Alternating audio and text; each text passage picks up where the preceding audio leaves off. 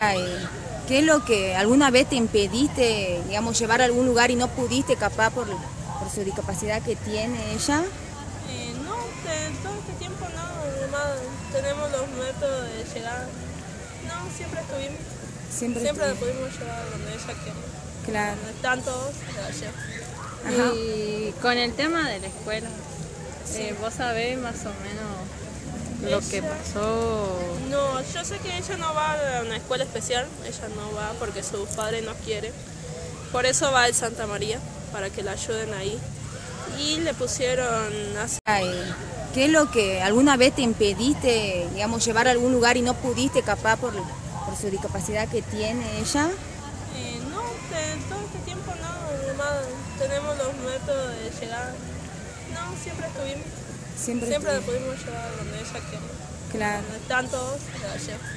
Ajá. Y con el tema de la escuela, eh, ¿vos sabés más o menos lo que pasó? No, yo sé que ella no va a una escuela especial, ella no va porque su padre no quiere. Por eso va al Santa María, para que la ayuden ahí. Y le pusieron así.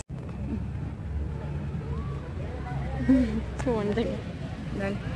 Eh, última pregunta. Para vos, ¿qué significa normalización? ¿Sabés lo que significa? No, Eh, educación inclusiva,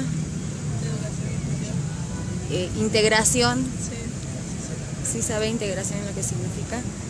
Bueno, eh, ¿Nos puede decir un poquito de cómo ella, digamos, eh, comenzó la escuela? Nos estabas contando eso. Bueno, ella va hace dos semanas y su papá pudo conseguir que le pongan una maestra especial que la haga integrar al curso para que esté en un curso con niños que no tengan discapacidad. Y eh, ella, la ayuda es que la maestra le enseñe, ya que no tiene la, misma mentalidad, pero eh, por más que ayuda a integrarse y a, a compartir con otros niños, a que ella pueda estar con otros niños. Esa fue. Bueno, muchas gracias, ¿no? Por Dale. todo. Muchas gracias por tu ayuda y por ayudando. De nada. Chau, Dor. Chau. César.